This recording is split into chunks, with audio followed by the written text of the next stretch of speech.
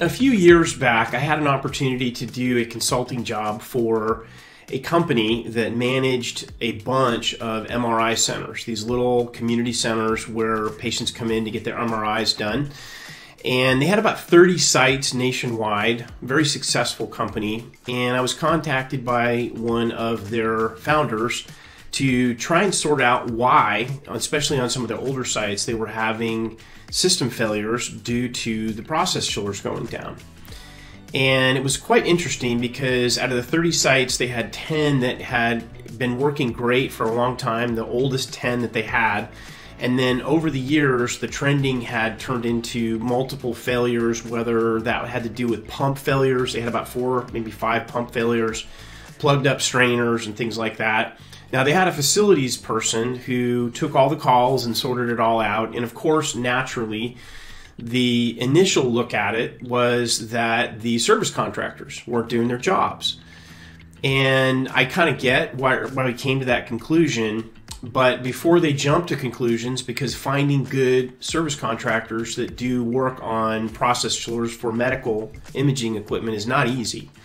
So they had me come in to try to figure out, all right, what exactly is going on here? So the first thing I did is I looked at their maintenance checklist, which were okay. Uh, there was a few things that needed to be improved, but for the most part, it was a pretty basic checklist. The other thing that I looked at was what exactly the failures were all about.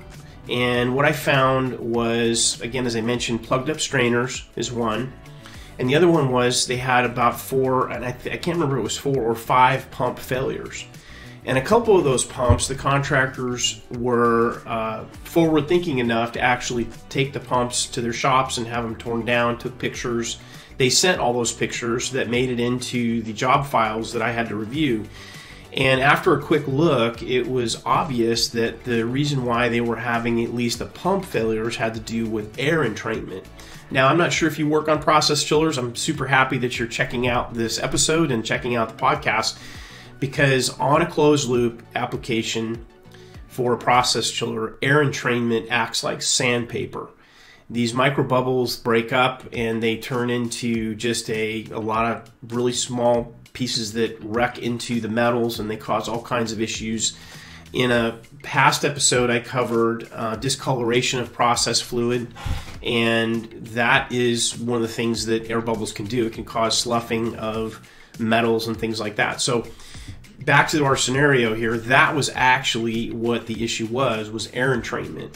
And the other thing that they found out was on some of their systems, even though the piping was copper, some of the interconnecting fittings were brass and other metals. So again, the air entrainment caused some issues that caused their strainers to plug up. And of course, all this stuff would happen outside their normal maintenance cycles. Now, a lot of times the service technicians caught stuff before it turned into failures.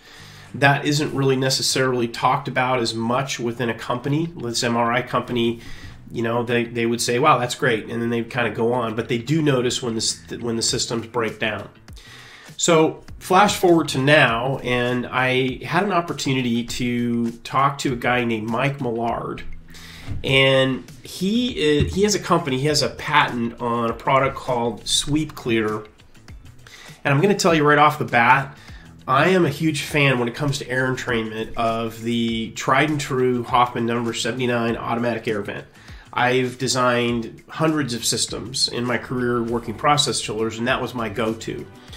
And I was talking to Mike Millard, and he basically said, Well, there is another way. So he sent me some information on this um, product, this Sweep Clear product. And my first reaction was, Really? It looks like just a rolled up bundle of mesh of some type. And after we t- I talked to Mike for a little bit, he shared with me what this stuff does, and I was fascinated by it. And uh, this is a what I call an Occam's razor product. And what I mean by Occam's razor, if you haven't heard that term before, and I mean I'm paraphrasing here, but basically what it means is all things being considered equal, it's usually the simplest solution is always better than a more complex solution.